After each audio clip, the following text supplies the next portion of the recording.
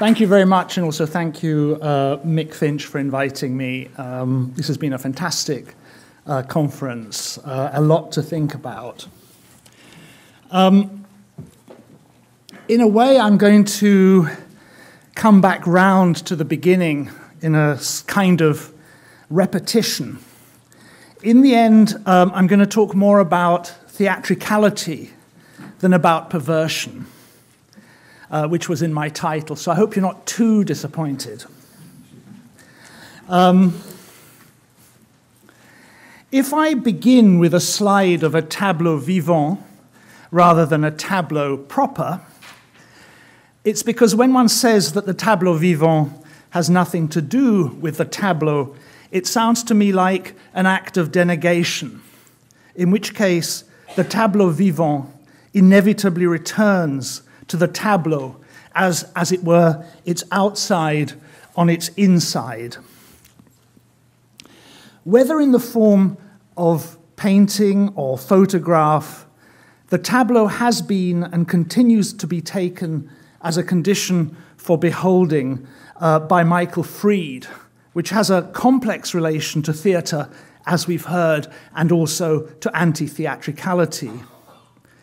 In this way, he has deepened the modernist account of the material conditions and conventions of each art form to include the question of how we are in presence, how beholding is even possible in the first place, and how the tableau allows it to be possible, makes it possible. Theatricality would be, to use Heideggerian terms, something like the Vorstellung, the setting up of the world before us uh, as a picture um, that conceals and forgets presencing. So the now has something to do with the dispositif or gestell, the setup of an age. But of course, concealment and forgetting are a part of presencing itself. And remember what we've heard from Philip Armstrong about Darstellung, presentation, as such. So the tableau can't simply be untheatrical or anti theatrical, a positive alternative to theatre that somehow leaves it behind, but rather a turning, and uh, Philip also talked about turning, a movement from one kind of presence to another, an anti theatrical movement that paradoxically needs to be reenacted. So I want to argue theatre returns. It has to return. Jean Francois Chevrier, in a brilliant paper in a recent conference at, in uh, Łódź in Poland on the painter Strzemiński, which he has uh, reiterated uh, part of uh, today, argued for the de dramatization of the tableau. He argues that what is at stake in this de dramatization is the painting as a pacification of the evil eye. So, following the psychoanalyst Jacques Lacan, an assuaging of the gaze of the big other.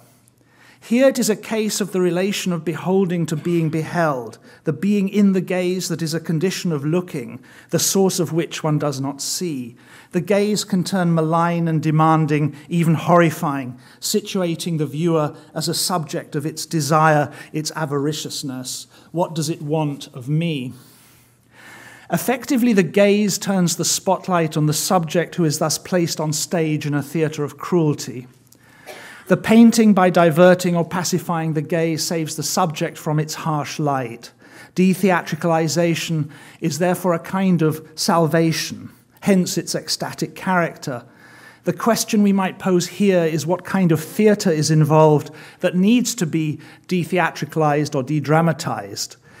Um, is it to be in the is to be in the condition of theatre necessarily to be under the evil eye? So, what I want to make some remarks about today is the tableau as theatre, and to do so in relation to two questions.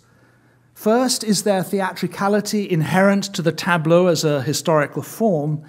Second, if the tableau as interpreted by Michael Fried and Jean, Francois Chevrier involves a turn away from theatre, whether for the same or different reasons, can we speak of a re theatricalization of the tableau, or more precisely, of a re potentialization of the theatricality inherent to the tableau?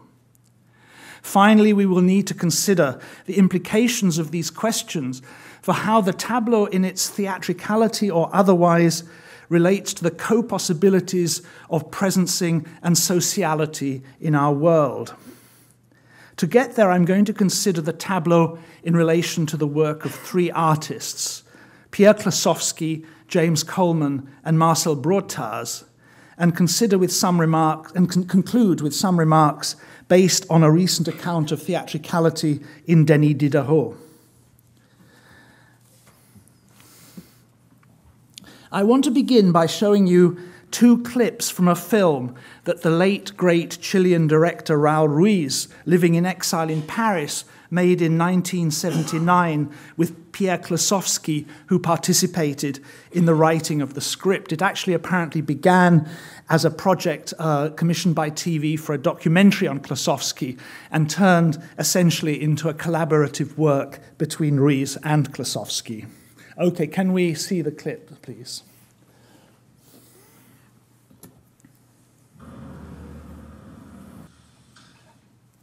Okay, can we go back to the slide then? Um, the film has, as you will have seen, not one but two narrators. A narrator in the film who is an art collector, connoisseur, elderly intellectual, uh, I think there's an element uh, by Ruiz of uh, parody of um, kind of aging white males pontificating on the tableau. I, of course, uh, include myself.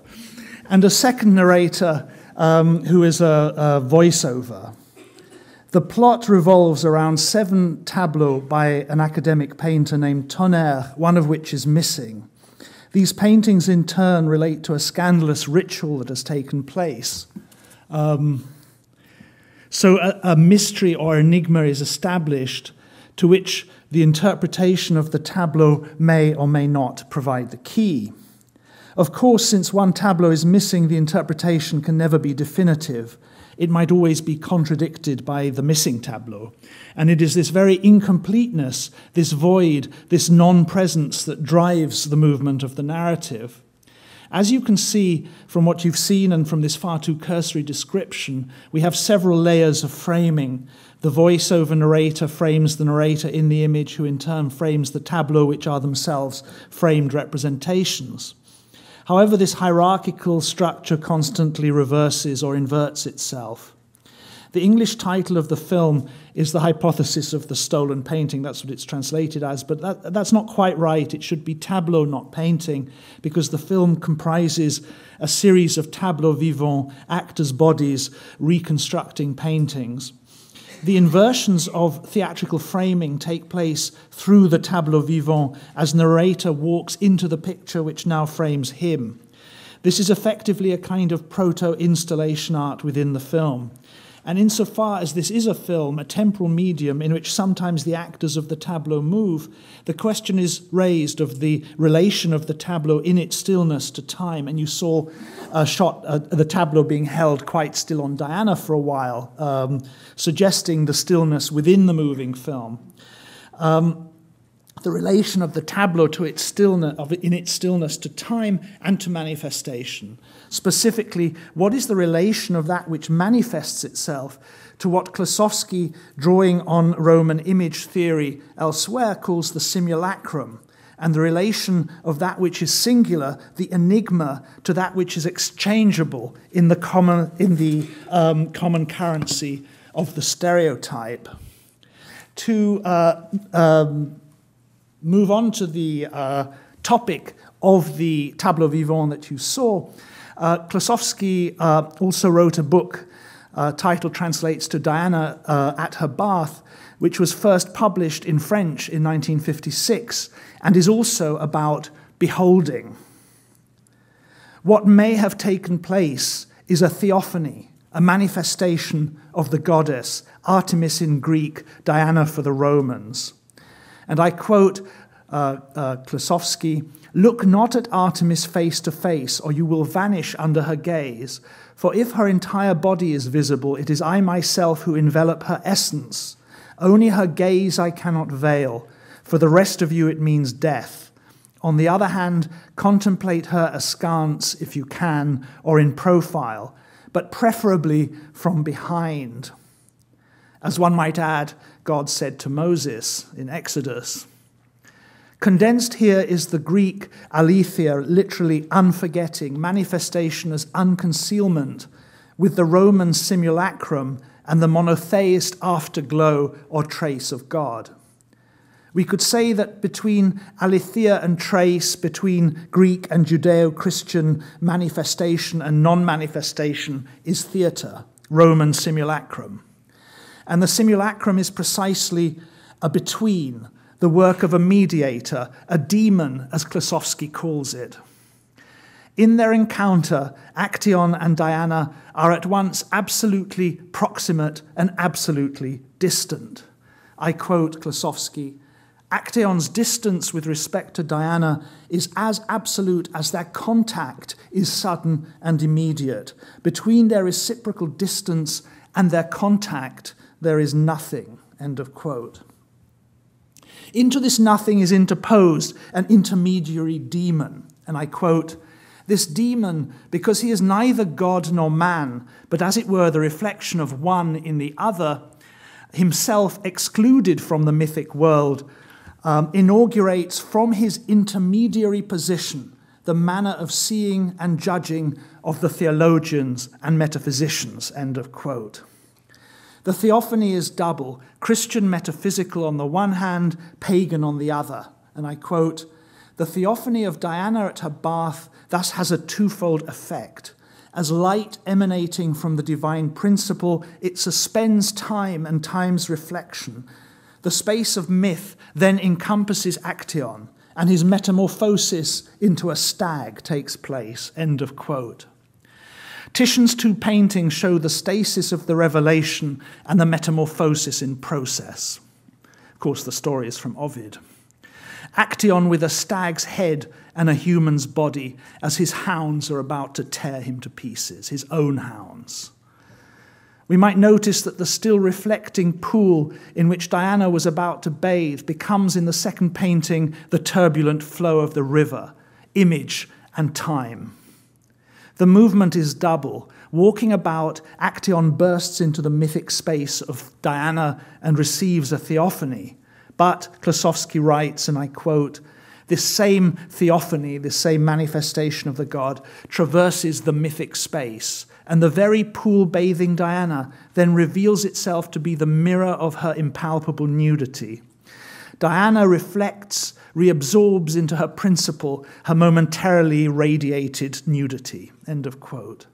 It is in the double movement of theophantic encounter, seeing the goddess on the one hand, and reflection coupled with withdrawal on the other, that the bifurcated character of the image of sim- as simulacrum becomes apparent. One, uh, on one side, the image makes manifest, it shows, and on the other side, it is a trace of withdrawal, the reabsorption of the reflection into its principle as a metaphysical structure. If this account of Diana and Actaeon sounds something like an allegory, Klossowski places it within a frame that de allegorizes it, insofar as it shows the incompatibility of seeing and saying. Um, and I quote Actaeon in the myth sees because he cannot say what he sees. If he could say it, he would no longer see. End of quote. The theophany, after all, turns him into a dumb animal. But Klossowski adds, and I quote, the real experience, however, would boil down to an absurd proposition. I was supposed to be here because I was not supposed to be here. End of quote. It is because of the prohibition that we see. A proposition that is not only absurd but also perverse. This has nothing to do with the peephole, with seeing without being seen. Actaeon is seen and cannot escape. Perhaps he should have thrown something down to placate the goddess, or at least distract her from the chase. Perhaps that is what, as Darian Leader suggests in his book Stealing the Mona Lisa What Art Stops Us from Seeing, the work of art is for the artist old Titian making a painting of the destruction of the one who have seen, for the uh, one who has seen, for the pacification of the evil eye, to return to that notion. The tableau here has a, and I'm sliding a little bit, I know, between tableau and image, but I can come back to that. um, which are, of course, not exactly the same thing, but I would argue are not exactly separable either. The tableau here has a double function to manifest and to show the withdrawal of the manifestation. So that it is, is at once the pure, unique, indeed singular event of presence and conventional sign. We can see this happening in the tableau when an abstract painting becomes a sign of itself. A. Malevich, A. Kandinsky, A. Mondrian, A. Pollock. What does this tell us about the tableau? Klossowski's three Robert books were published in the years surrounding Diana at her bath, and effectively they frame each other. These three books, Robert ce soir, The Revocation of the Edict of Nantes, and Le Souffleur, together with the uh, book Le Baphomet, which um, to a certain extent informs the images of the hypothesis of the stolen painting, provide the material for Klossowski's own drawings. And around 1965, this great novelist, translator, and philosopher gave up writing for mainly making large drawings of perverse scenarios using colored pencils, drawings that, while very beautiful, are by no means facile, but rather awkward, clumsy, a little cliched, and already slightly dated when they were made.